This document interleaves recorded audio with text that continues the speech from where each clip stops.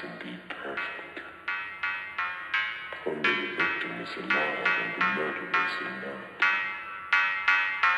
It's a pity you didn't know when you started your game of murder.